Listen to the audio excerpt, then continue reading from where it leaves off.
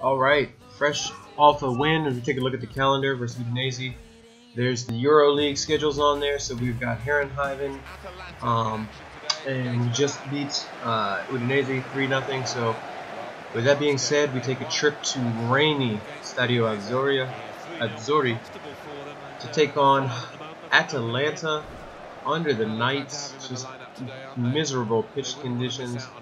Um, should be should be a relatively tough game.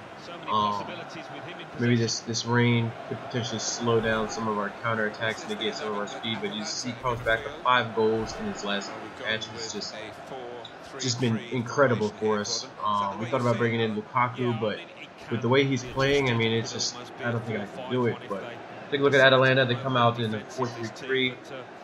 Not too many recognizable names. Maybe Drame, maybe Sportiello in goal.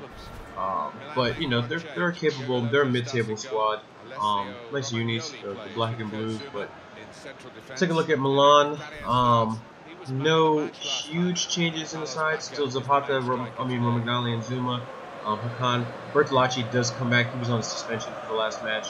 Um, but El Shaarawy, Berardi, and back up top with Hakan right behind them. So we will, you know, we'll we'll go with what works. Hopefully, we'll try to be a little bit more stable. Maybe we'll, we'll play formations in the in the cups and the Euros. But we're in early. Back up. Oh, just great job of just adjusting to it. Second minute goal, trying to best his goal from last the Udinese match. But take a look, left-footed. I mean, keeper just great save by the keeper. Sportiello gets fingertips to it, but we're in 15th minute, 16th minute. Mkhitaryan driving forward, great ball through to Bacca. Bacca's shot, ah, just goes wide, and he is. I mean, he's hunt, he's hunting shots right now. So let's take a look. Ah, narrowest of margins, but 28th minute. Mkhitaryan again just driving us forward, just beating defenders, plays in El Shaarawy. El Shaarawy shot in on goal, gets deflected, maybe a little fortunate, but opens up his Milan account. And after being out on loan last year, just was really looking forward to him coming back. I was trying to contemplating last year whether or not to make a move for Lucas from PSG since he's kind of the odd man out up there, but I knew we had this guy coming back, so I just said, you know what, let's just hold on to the money. And yeah, very fortunate off the defender, off the keeper, but hey, he got into the position, so you know, can't blame him. But Atalanta with some nice, nice through ball, and Diego Lo oh, Carmona shoots wide. Probably should have been shooting across goal, but Diego Lopez did a pretty good job. Let's take a look, just really scuffed it. Job of standing tall, but 70th minute, Berardi, who's been kind of the forgotten man, even though we brought him in last year, just look, just beating everyone. Just one guy, two guys, three guys, the dummy fake, and then the cool left-footed finish into the back of the net from the ex-Sassuolo man, who we bought last year in January. Just, oh, look at the pace, look at the dribbling, the, the move, and then the composure at the end to just pretty much pass it into the back of the net. Um, just you know, if we can get both him and Shaarawy and Bacca going, oh, it's gonna be rough, long day. But there's Abate in the box, plays it across the Bacca, Bacca shot, and you know what? When you've got good, when you're on good form, stuff like that happens where tight angles mean nothing. You take a look, just great job by by Abate to turn, and then Bacca one touch controls it, spins, shoots it off the top of the crossbar, off the defender. So two fortunate bounces for us. And just like that, we're up 3-0 again. Looking for more with El Shaarawy driving forward. Timo Werner has come on. Driving up the defender. Oh, cuts in and D'Alessandro just takes his legs out from underneath him. A clear and obvious penalty. You know, no protest from the from the uh, Atalanta player, but you take a look. Oh, just terrible. What is he? This is horrible. That's that's a, a winger's challenge inside the box. And Bacca steps up to to take the penalty to, to hopefully add get his brace, add to the lead.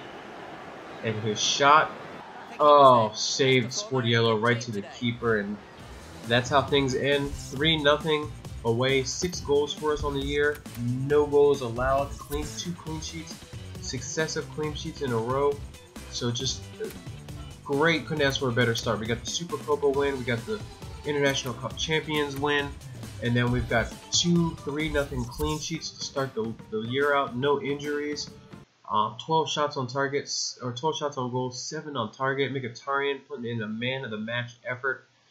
No goals for him, but I think he had but one assist and just kind of just set the paces. We gave Hakan a little bit of a rest to, uh, to help um, prepare for the, the Euro League. But we do, we are going to go ahead and accept the, the job for Brazil. I mean, how can you turn down Neymar and Oscar, Willian, Coutinho, and Hulk, David Luiz, Thiago Silva, all those guys. So I know it'd be a lot of pressure, but you know we're, we're I'm excited about that. I won't broadcast too many of the games, maybe just a few highlights here and there until we get to the World Cup or maybe the, the Copa America. But we're back into it with Genoa. Unfortunately, the PVR kind of crapped out on this one, so we will. Um, it'll only show I think 20 minutes. As you can see, the pixelation is kind of shitty on it, but um, you know, we'll, we'll try to get in as much as we can um, for this particular one. But, you know, here we come. Big match for another, um, before a EuroLeague, but Carlos Bacca been kind of the, the, the man in form. Uh, just been, man, a hell of a player for us so far this year. To see standing next to El Shaarawy. Take a look at our lineup that we brought out. No big changes except for Neves comes in for De Jong. Poli also comes in as well, but Zapata deputizes for, not deputizes, but he comes in for, for Zouma. So there's a, a, few changes as we, we do a little bit of squad rotation, but um, take a look at Genoa's starting 11. Um, no big names. Diego Capel, probably Diego Porrada. Kuka, who actually plays for uh, Milan in real life. So that left side's not too bad, but three in the back, we should be getting the better of them. I think we only got 20 minutes of game action in this one, um, and I don't want to spoil anything, but take a look. Verratti's in early. Tashidas slips him in, and just Zapata with just an excellent step in, and like that, we're on the counter. Mkhitaryan plays in. El Shaarawy, El Shaarawy plays in back, just skips by the defender, and his left-footed finish into the back of the net, so he just cannot stop scoring as you see the Genoa defender just, just left over. What do you do? I, have no idea. Maybe one, you can not let him slip in right there and then take that many touches inside the box without closing down. But we get the early one goal lead, and like I said before, unfortunately, this is kind of where the PVR craps out. The, the match did finish 2 nothing as we see one last chance for us. Mkhitaryan slides in, Neves, and Neves is trying to get off the duck and just unfortunately puts it off the side or puts it on the post. But we do win 2 nothing. We'll go ahead and, and we'll stop this episode here as we get ready for some EuroLeague action coming up soon. Thanks, guys.